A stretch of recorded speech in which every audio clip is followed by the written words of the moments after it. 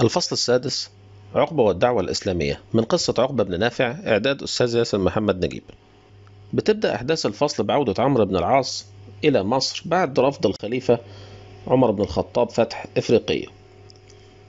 في نفس الوقت اللي عاد فيه إلا بأنه أمر عقبة رضي الله عنها بأن يقيم في برقة وده كان لعدة أسباب أولها علشان يعلم المسلمين فيها أمور دينهم بالإضافة علشان ينشر الإسلام بين الذين ما زالوا على وثنيتهم بالإضافة إلى أنه حتى يحيي شعائر الدين في برقة.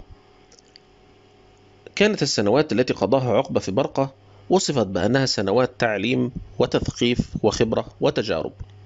تمكن عقبة خلال تلك الفترة التي قضاها في برقة بأنه يعلم البربر قواعد الدين الإسلامي وشعائره بالإضافة إلى أنه تمكن من اكتساب خبرة واسعة وعميقة بكل أحوال البيئة البربرية. أقام عقبة في برقة أربع سنوات نشر خلالها تعاليم الدين الإسلامي. نتيجة لنشر عقبة تعليم الإسلام أسلم على يديه كثير من البربر بالإضافة إلى أنه تعلم البربر اللغة العربية ليتمكنوا من ترتيل القرآن وفهم معانيه. قضى عقبة حياته في كونه رائدا دينيا وألف الحياة ما بين البربر وأحبهم وأحبوه ولم يرتد أحد منهم عن الإسلام. ظل عقبة في برقة أربع سنوات من سنة 23 هجري إلى 27 هجري. أما أهل طرابلس فنقضوا عهودهم وارتد عدد كبير منهم بعد إسلامهم ورفضوا دفع ضريبة الدفاع المفروضة عليهم بمجرد عودة عمرو بن العاص لمصر. تغيرت أحوال الدولة الإسلامية بعد تولي عثمان بن عفان رضي الله عنه الخلافة بعد استشهاد عمر بن الخطاب رضي الله عنه وأجرى عثمان بن عفان بعض التغيرات في الدولة.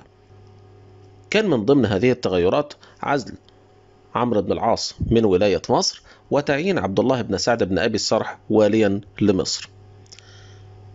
أراد عبد الله بن سعد إثبات جدارته للخليفة فاستأذنه في مواصلة الفتوحات التي بدأها عمرو وفتح إفريقية. بالنسبة لعثمان بن عفان تروى قبل الرد على عبد الله بن سعد واستشار كبار الصحابة والتابعين.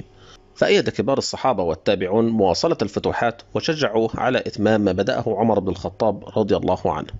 نهاية الفصل ونتمنى لجميع أبنائنا كل التوفيق ونتمنى تشرفونا باشتراككم في القناة.